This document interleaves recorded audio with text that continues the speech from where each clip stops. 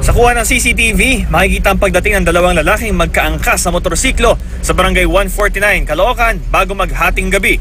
Ilang saglit sila naghintay hanggang dumating ang isa pang motorsiklo sa kayang isang lalaki. Pagbaba nito, may inabot siya sa angkas ng unang motorsiklo. Walang ano-ano, pinagbabaril ng angkas ng lalaki. Ang suspect agad tumakas gamit ang motorsiklo ng biktima. Kasunod niyang sumibat ang kasama. Nakarinig kami na sunod-sunod na pagputok. Ngayon, ang ginawa ko naman, nagpunta ako sa lugar ng CCTV. Yun nga, nakita namin maraming tao. Pagpunta nila ron, yun nga yung tao. Nakabulagta na ron. Dead on the spot ang biktima.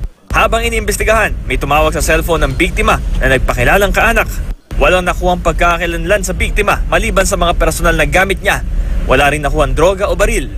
Hindi siya taga rito eh. Hindi siya kilala rito. Apparently, parang magkakilala sila doon sa kwan eh. Magkakilala sila doon sa suspect.